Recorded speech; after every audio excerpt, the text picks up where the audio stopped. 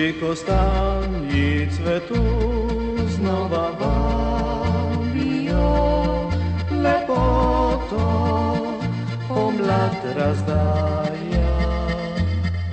Rože pisane v travah sanjajo, ljubizni spet pozvanjajo.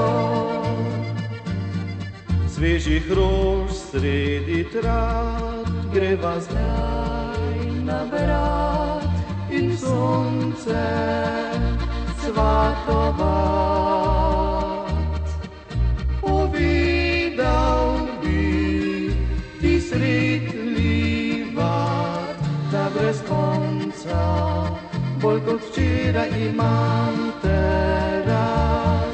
pomlad je najin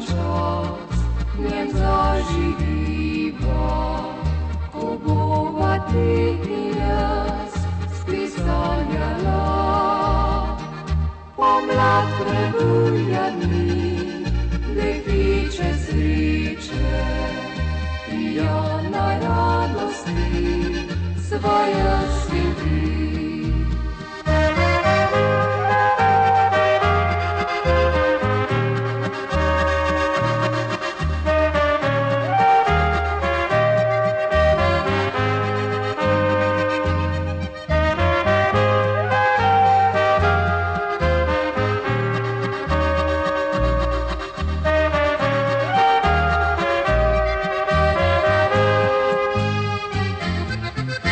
Ptice namaš goli sredi gustih vej, njih pisem do srca sega.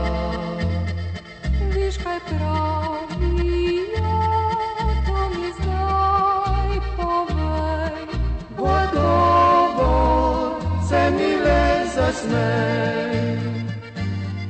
Lep je maj sred planjav, sredi luč in trav, za naju lep pozdrav.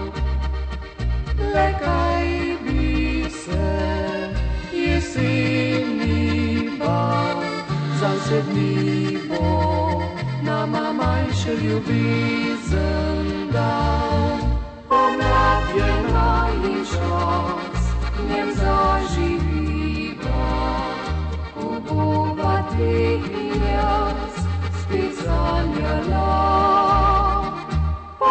Pomlad